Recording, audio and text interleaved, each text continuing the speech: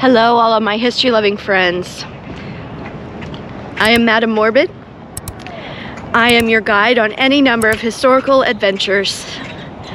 And today I am in Dallas, Texas, in front of another Bonnie and Clyde site that is in somewhat danger of not being here much longer.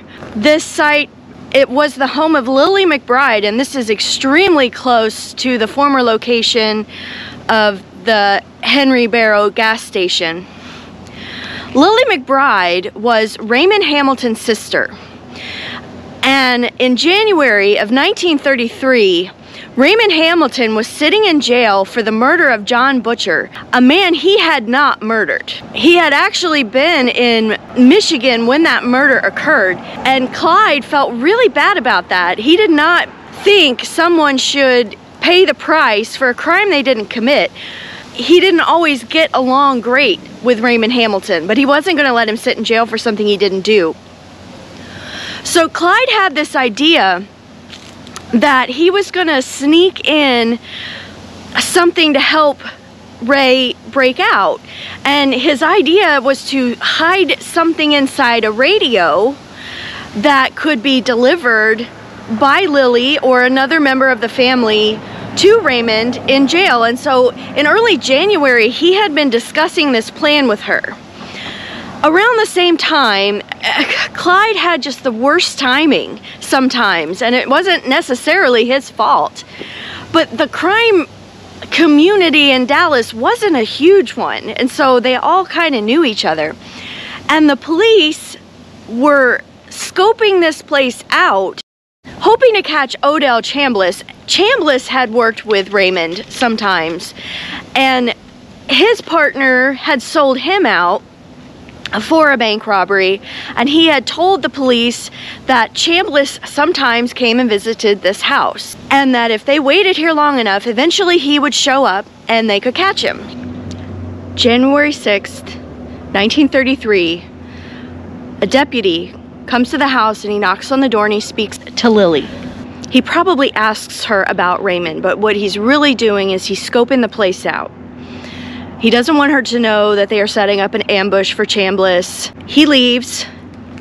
Clyde shows up that afternoon. Now at this time, Lillie has left and gone, I don't know where she went, but she doesn't come back for quite some time. He asks about her. He wants to know if she delivered the radio to her brother. Whether she had done that or not, I don't know she's not home, so they go and they visit family. They probably go see his parents on Eagle Ford Road. They go see Emma. They may visit another friend while they're waiting for her to return.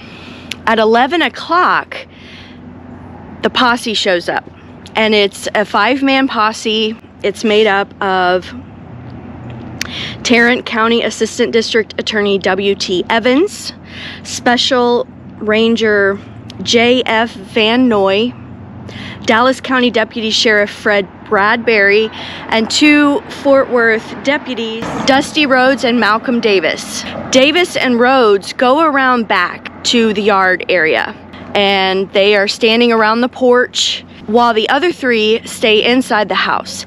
Maggie Ferris is here. She is the younger sister of Lillie and Raymond. She tells them Lillie's not here and they say, well, we're gonna set up our ambush anyway. And they just wait. And they're watching the road. They have her turn off every light in the house. She manages to talk them into letting her turn a red lamp on in the children's room. She tells them it's a nightlight that the children need. They allow her to do this, but actually what it is, it's a signal to anybody coming to the house that it's not safe. The law is here. They all see a Ford V8 drive by very slowly with no headlights.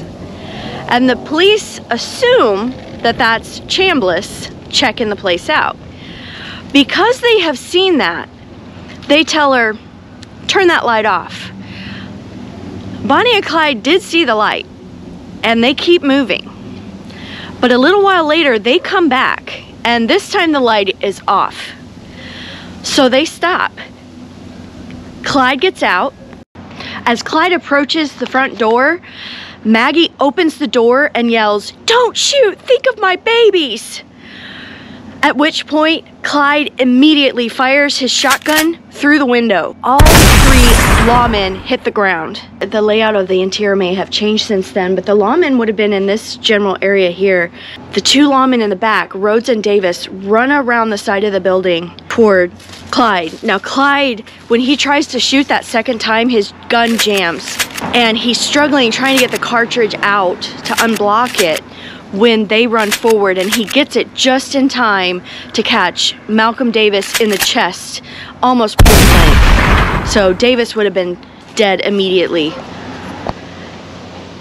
After he shoots Davis, the police inside start shooting. And then WD starts wildly shooting just in their general direction.